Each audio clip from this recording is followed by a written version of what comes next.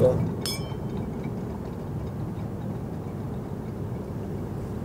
Det er avgift, da. Det har jeg drømt om siden gang jeg så deg på bussen. Jeg klarer ikke å se for meg et liv uten deg, Erika. Jeg kommer ikke til å forlate deg, da. Jeg lover. For alltid.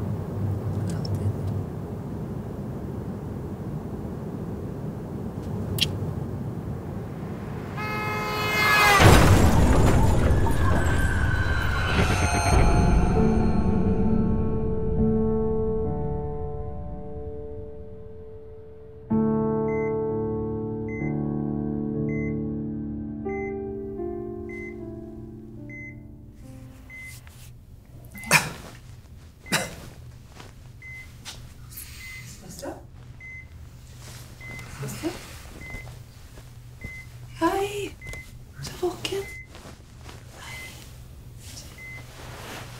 Det går bra med deg. Vi er på bra.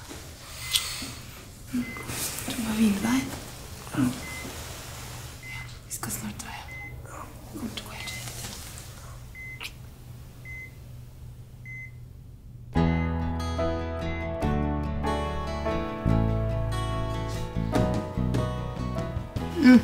Var veldig gode. Mm, er det norske? Vil du ha? Få en, da. Ja, ta den, da. Nå spiste du med stilken.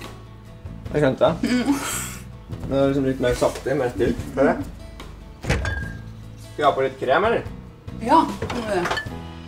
Her er kremen, ja. Mm. Skal jeg bare smæle det opp, liksom? Ja, det går bra. Og så skal vi bare Bare da. oppå her, vet du. Altså, jeg glapp hele tiden. Sorry. Jeg glapp den. Får du ta av? Skal jeg ta det av? Tar du bare med? Tenk at om under en måned så ligger en liten gutt inne på rommet. Bare se på de klærne her, liksom. Det er vårt barn som skal bruke dem. Kan vi ikke snakke om noe annet, da? Snakke om noe annet. Men det er jo en måned til babyen kommer, da. Burde du ikke forberede oss litt? Hvis det er sånn jeg tror Sebastian, så kommer ikke vi til å være her. Hvorfor sier du det der? Uansett hva som skjer, så vil jeg at du skal vite at jeg er utrolig stolt av deg. Ikke sånn jeg.